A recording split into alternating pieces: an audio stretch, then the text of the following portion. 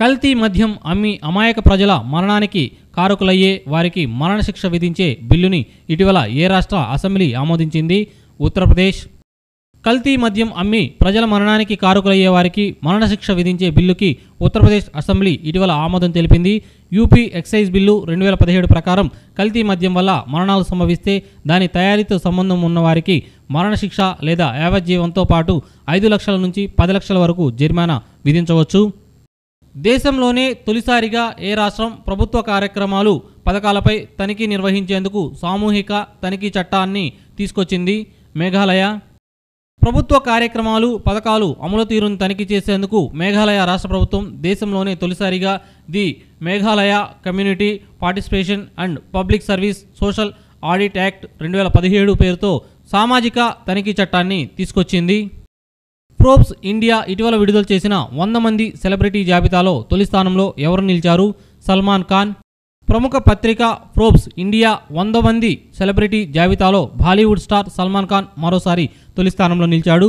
October ఒకటి రెండు వేల పదహారు నుంచి సెప్టెంబర్ ముప్పై రెండు వేల పదిహేడు మధ్యలో ఎంటర్టైన్మెంట్ ఫీల్డ్లో అత్యధిక ఆదాయం ఆర్జించిన వారి పేర్లతో ప్రోబ్స్ ఈ జాబితా రూపొందించింది. షారుఖ్ ఖాన్ రెండో స్థానంలో విరాట్ కోహ్లీ మూడో స్థానంలో ఉన్నారు. స్వచ్ఛ ఇంధన ఉత్పత్తి ప్రమోషన్ కోసం నీతి ఆయోగ్ ఎన్ని కోట్ల రూపాయలతో మిథనాల్ ఎకనామీ ఫండ్ను ఏర్పాటు చేయనుంది. రూపాయలు నాలుగు వేల నుండి ఐదు వేల కోట్లు. కాలుష్య రహిత ఇంధనంగా గుర్తింపు పొందిన మిథనాల్ ఉత్పత్తి కోసం నీతి ఆయోగ్ రూపాయలు నాలుగు వేల నుండి ఐదు వేల కోట్లతో మిథనాల్ ఎకనామీ ఫండ్ ఏర్పాటు చేసేందుకు ప్రణాళికలు సిద్ధం చేస్తుంది. ఈ నిధితో మిథనాల్ ఉత్పత్తి కేంద్రాలను నెలకొల్పాలని యోచిస్తుంది. బొగ్గు ద్వారా ఉత్పత్తి చేసే తొలి మిథనాల్ ప్లాంట్ను పశ్చిమ బెంగాల్లో కోల్ ఇండియా లిమిటెడ్ ఏర్పాటు చేయనుంది. ప్రపంచ వాణిజ్య సంస్థ పదకొండవ మంత్రుల సమావేశం ఇటీవల ఏ దేశంలో జరిగింది? అర్జెంటీనా? పదకొండవ ప్రపంచ వాణిజ్య సంస్థ మంత్రుల సమావేశం world trade organisation ministerial conference MC eleven ఇటీవల అర్జెంటీనాలోని బ్యూనోస్ ఎయిర్స్ నగరంలో జరిగింది. కేంద్ర వాణిజ్య పరిశ్రమల శాఖ మంత్రి సురేష్ ప్రభు నేతృత్వంలోని భారత బృందం ఈ సమావేశంలో పాల్గొంది.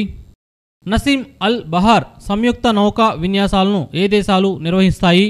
Bharat Oman Naseem Al Bahr సంయుక్త సైనిక విన్యాసాలను భారత్ ఒమన్ నిర్వహిస్తాయి. రెండు వేల పదిహేడు ద్వైపాక్షిక నౌకా విన్యాసాలు ఇటీవల ఒమన్లోని బిన్ సుల్తాన్ నావెల్ బేస్లో జరిగాయి. పంతొమ్మిది వందల తొంభై మూడు నుంచి ఈ నౌకా విన్యాసాలను నిర్వహిస్తున్నారు. చిలీ దేశ నూతన అధ్యక్షుడిగా ఇటీవల ఎవరు ఎన్నికయ్యారు? అలెన్జాండ్రో గులివియర్. ఇటీవల జరిగిన చిలీ అధ్యక్ష ఎన్నికల్లో సెబాస్టియన్ పినేరా తన ప్రత్యర్థి అలెన్జాండ్రో గులివియర్ను ఓడించి రెండోసారి అధ్యక్షుడిగా ఎన్నికయ్యారు.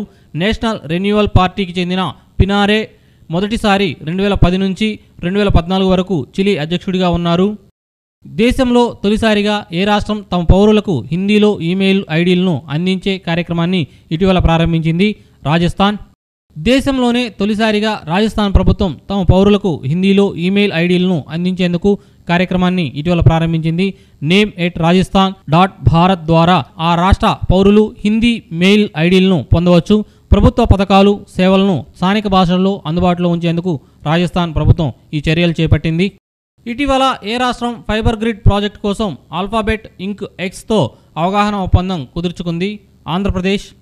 ఫైబర్ గ్రిడ్ ప్రాజెక్టులో ఫ్రీ స్పేస్ ఆప్టికల్ కమ్యూనికేషన్ సాంకేతిక పరిజ్ఞానాన్ని వినియోగించుకునేందుకు ఆంధ్రప్రదేశ్ ప్రభుత్వం ఆల్ఫాబెట్ ఇంక్ ఎక్స్ సంస్థతో ఒప్పందం కుదుర్చుకుంది.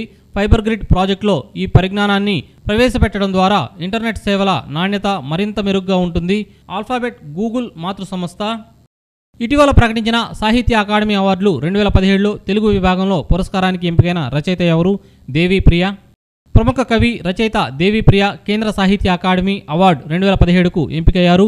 తెలుగులో ఆయన రచించిన పద్య కావ్యం గాను ఈ పురస్కారానికి ఎంపికయ్యారు. కేంద్ర సాహిత్య అకాడమీ ఉత్తమ అనువాద రచనగా తెలుగువారి నుంచి వెన్న వల్లభారావు అనువదించిన విరామం ఎరుగని పయనం రచనకు అవార్డు లభించింది. రఖైన్ రాష్ట్ర అభివృద్ధి కోసం ఇటీవల మయన్మార్ ఏ దేశంతో అవగాహన ఒప్పందం కుదుర్చుకుంది? భారత్. మయన్మార్లోని రఖైన్ రాష్ట్ర అభివృద్ధి కోసం భారత్తో ఆ దేశం అవగాహన ఒప్పందం కుదుర్చుకుంది.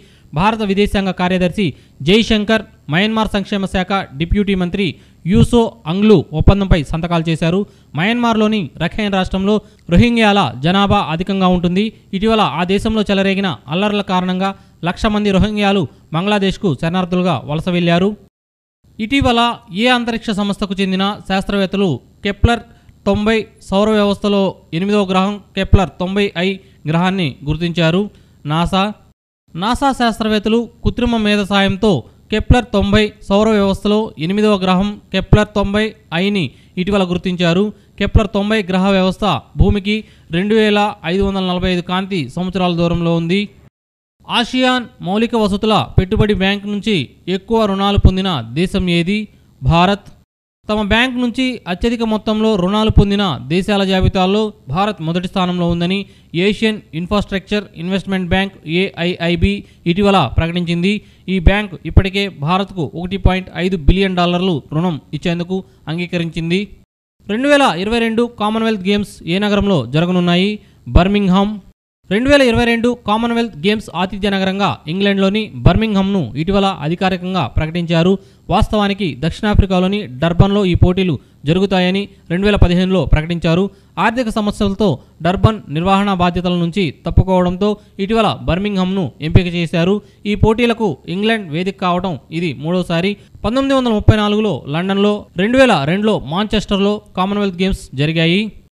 అంతర్జాతీయ హక్కుల సంస్థ అమెష్ని ఇంటర్నేషనల్ ప్రధాన కార్యదర్శిగా ఇటీవల ఎవరు నియమితులయ్యారు?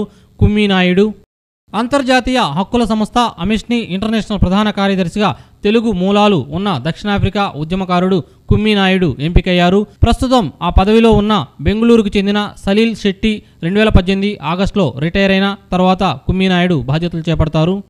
జాతీయ హరిత ట్రిబ్యునల్ ఇటీవల ఏ నది వెంట ఉన్న నగరాలు ప్లాస్టిక్ ఉత్పత్తుల వినియోగం అమ్మకం తయారీపై పూర్తిగా నిషేధం విధించింది గంగా నది. ఉత్తరాఖండ్లోని గంగా నది వెంట ఉన్న నగరాల్లోని ప్లాస్టిక్ బ్యాగులు ప్లేట్లు స్పూన్లు వినియోగం అమ్మకం తయారీపై జాతీయ హరిత ట్రిబ్యునల్ ఇటీవల పూర్తిగా నిషేధం విధించింది. గంగా నది కాలుష్య నివారణ చర్చల్లో భాగంగా ఎన్జీటీ ఈ నిర్ణయం తీసుకుంది. తేళ్ళ జాతిలో కొత్త రకం స్కాలరెస్ వుడ్ స్కార్పియన్లను ఇటీవల ఏ రాష్ట్రంలో గుర్తించారు? కేరళ. త్రిపురలోని తృష్ణ అటవీ జంతువుల సంరక్షణ కేంద్రంలో కొత్త రకం తేళ్ళను గుర్తించారు. ప్రపంచంలో అటవీ జంతువులపై విస్తృత పరిశోధనలు చేసిన ప్రముఖ శాస్త్రవేత్త జార్జ్ స్కాలేర్ పేరుని ఈ తేళ్ళకు పెట్టారు. భారత ఒలింపిక్ సంఘం నూతన అధ్యక్షుడిగా ఇటీవల ఎవరు ఎన్నికయ్యారు? నరీందర్ బాత్రా భారత ఒలింపిక్ సంఘం నూతన అధ్యక్షుడిగా నరీందర్ బాత్రా ఇటీవల ఎన్నికయ్యారు. ఐఓఏ కార్యదర్శిగా రాజు మెహతా కోశాధికారిగా ఆనందీశ్వర్ పాండే ఎన్నికయ్యారు. రెండు వేల నలభై నాటికి దేశంలో ఆయిల్ అండ్ నేచురల్ గ్యాస్ తవ్వకాలను పూర్తిగా నిలిపివేసేందుకు ఇటీవల ఏ దేశ పార్లమెంట్ ప్రత్యేక చట్టాన్ని ఆమోదించింది? ఫ్రాన్స్. రెండు వేల నలభై నాటికి దేశంలో ఆయిల్ అండ్ నేచురల్ గ్యాస్ తవ్వకాలను పూర్తిగా నిలిపివేసేందుకు ఉద్దేశించిన బిల్లుని ఫ్రాన్స్ పార్లమెంట్ ఇటీవల ఆమోదించింది. ఈ చట్టం ప్రకారం ప్రస్తుతం అమల్లో ఉన్న తవ్వకాల అనుమతులను రెన్యువల్స్ ఉండవు. అలాగే కొత్త అనుమతులు ఇవ్వరు. ప్యారిస్ వాతావరణ ఒప్పందంలో భాగంగా భూతాపాన్ని తగ్గించేందుకు ఫ్రాన్స్ ఈ నిర్ణయం తీసుకుంది. BBC team of the year రెండు వేల పదిహేడు అవార్డుకి ఏ జట్టు ఎంపికైంది? ఇంగ్లాండ్ మహిళల క్రికెట్ జట్టు. BBC team of the year award రెండు వేల పదిహేడుకి ఇంగ్లాండ్ మహిళల క్రికెట్ జట్టు ఎంపికైంది. రెండు వేల పదిహేడు మహిళల ప్రపంచ కప్ ఫైనల్లో భారత జట్టుని ఓడించి ఇంగ్లాండ్ మహిళల జట్టు టైటిల్ని గెలుచుకుంది. యునెస్కో కేటగిరీ టూ సెంటర్ స్థాయిలో international training centre for operational oceanography భారత్లోని ఏ నగరంలో ఏర్పాటు కానుంది? Hyderabad. UNESCO category two centre స్థాయిలో international training centre for operational oceanography కేంద్రాన్ని హైదరాబాద్లో ఏర్పాటు చేసేందుకు కేంద్ర కేబినెట్ ఇటీవల ఆమోదం తెలిపింది. ఇండియన్ ఓషన్ రిమ్ వెంబడి ఉన్న దేశాలు హిందూ మహాసముద్రం మరియు అట్లాంటిక్ మహాసముద్రాలతో సరిహద్దులను కలిగి ఉన్న ఆఫ్రికన్ దేశాల యొక్క సామర్థ్యాన్ని అభివృద్ధి పరిచేందుకు గాను ఓ శిక్షణా కేంద్రాన్ని నెలకొల్పాలన్నదే ఈ ఒప్పందం యొక్క ఉద్దేశం. National cadet corps NCC director జనరల్గా ఇటీవల ఎవరు బాధ్యతలు చేపట్టారు? B S Saharawat. Lieutenant general B S Saharawat ఇటీవల నేషనల్ క్రెడిట్ కాప్స్ డైరెక్టర్ జనరల్గా బాధ్యతలు చేపట్టారు. ఆయన మేనేజ్మెంట్ స్టడీస్లో ఉస్మానియా విశ్వవిద్యాలయం నుంచి పోస్ట్ గ్రాడ్యుయేషన్ చేశారు. డిజైన్ రంగంలో భారత తొలి విశ్వవిద్యాలయం వరల్డ్ యూనివర్సిటీ ఆఫ్ డిజైన్ ఇటీవల ఏ రాష్ట్రంలో ప్రారంభమైంది? హర్యానా. డిజైన్ రంగంలో భారత తొలి విశ్వవిద్యాలయం వరల్డ్ యూనివర్సిటీ ఆఫ్ డిజైన్ను ఇటీవల హర్యానాలోని సోనీపట్లో ప్రారంభించారు. పంజాబ్లోని Om Prakash Bansal educational and social welfare trust ఈ యూనివర్సిటీని ప్రమోట్ చేస్తుంది. అంతర్జాతీయ టీ ట్వంటీలలో దక్షిణాఫ్రికా బ్యాట్స్మెన్ డేవిడ్ మిల్లర్ నెలకొల్పిన వేగవంతమైన సెంచరీ రికార్డుని ఇటీవల సమం చేసిన భారత బ్యాట్స్మెన్ ఎవరు? రోహిత్ శర్మ.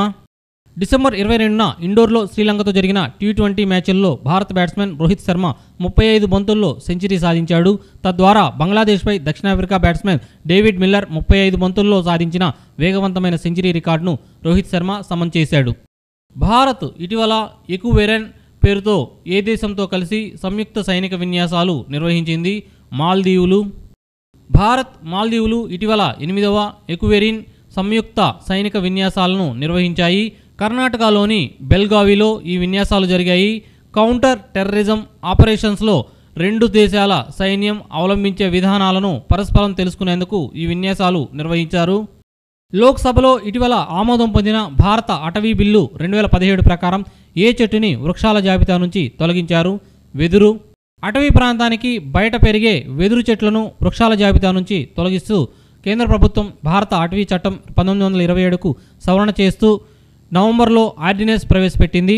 ఇటీవల ఈ ఆర్డినెన్స్ స్థానంలో ప్రవేశపెట్టిన భారత అటవీ బిల్లు రెండు వేల పదిహేడు లోక్సభలో ఆమోదం పొందింది. కొత్త బిల్లులోని నిబంధనల ప్రకారం అటవీ ప్రాంతం కాని చోట్ల పెరిగే వెదురు చెట్లను నరకడానికి రవాణా చేయడానికి అనుమతులు అక్కర్లేదు.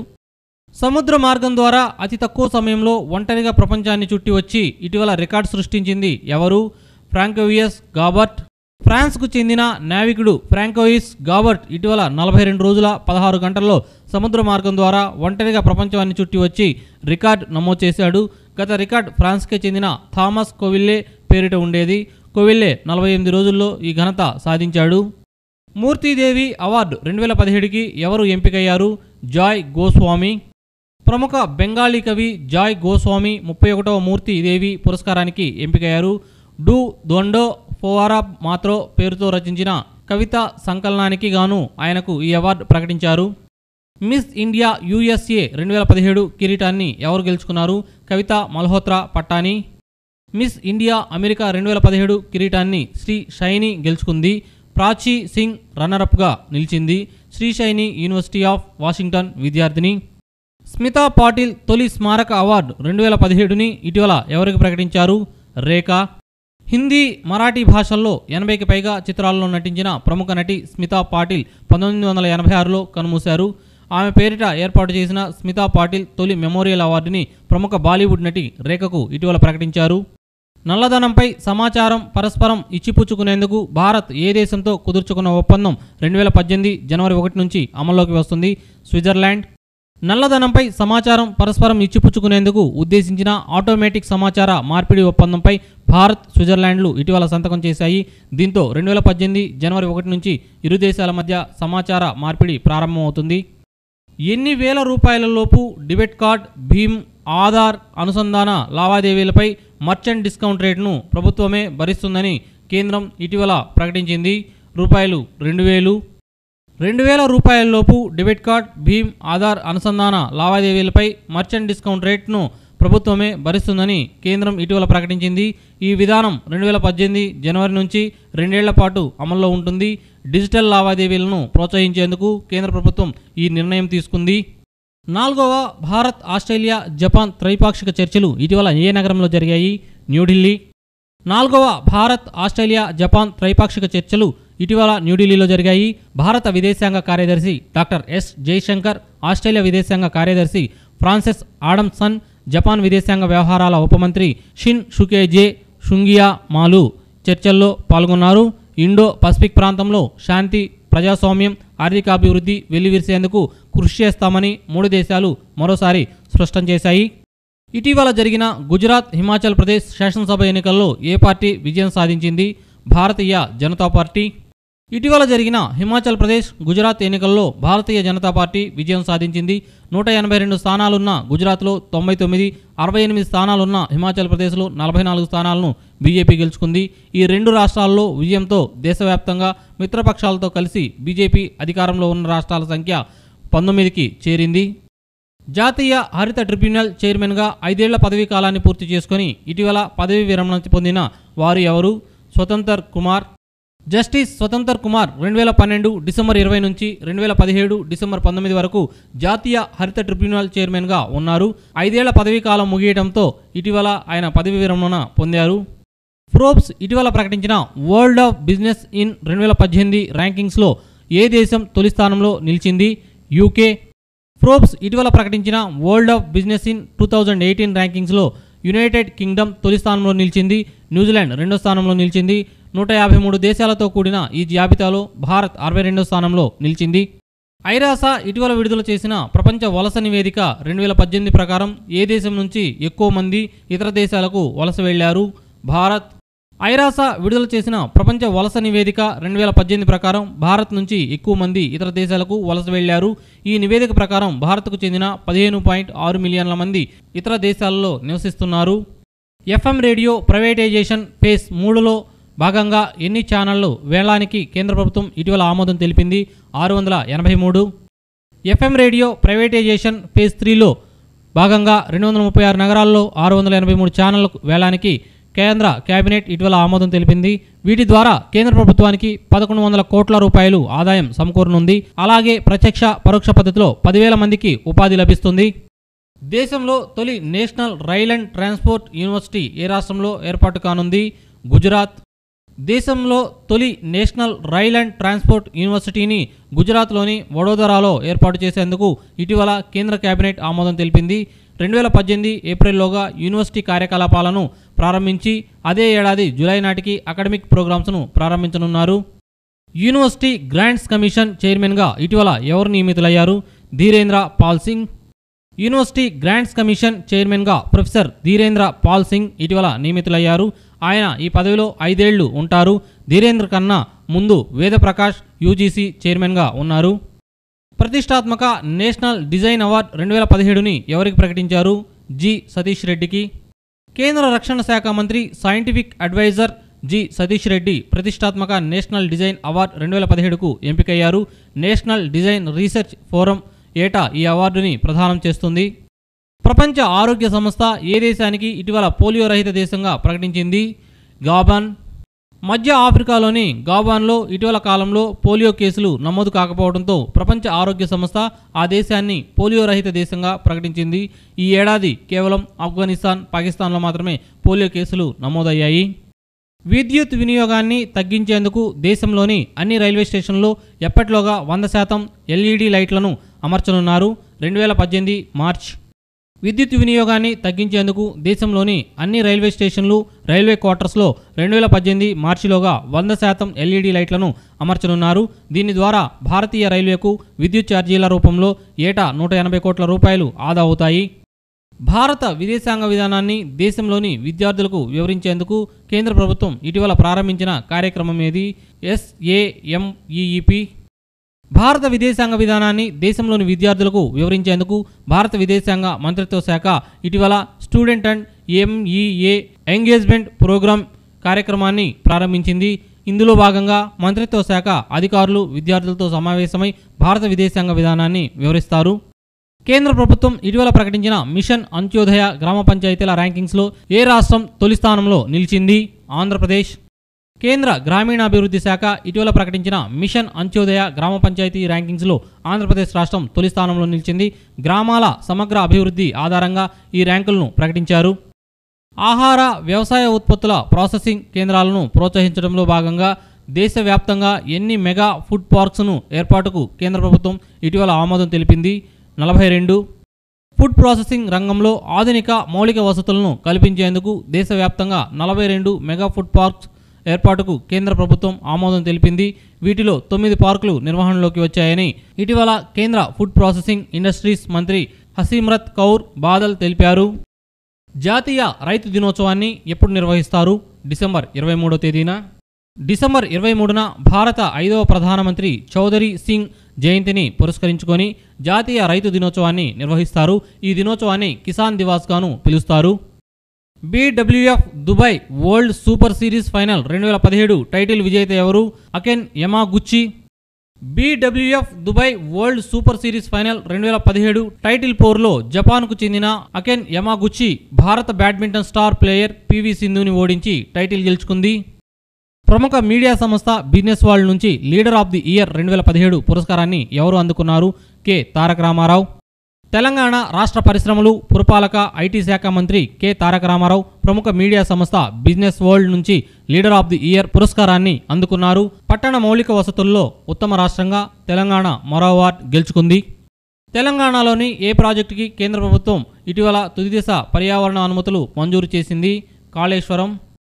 తెలంగాణ ప్రభుత్వం ప్రతిష్టాత్మకంగా చేపట్టిన కాళేశ్వరం ప్రాజెక్టుకు కేంద్ర ప్రభుత్వం ఇటీవల తుదిదేశ పర్యావరణ అనుమతులను మంజూరు చేసింది. రూపాయలు ఎనభై వేల ఐదు వందల కోట్లు వ్యయంతో ప్రభుత్వం ఈ ప్రాజెక్టుని నిర్మిస్తుంది.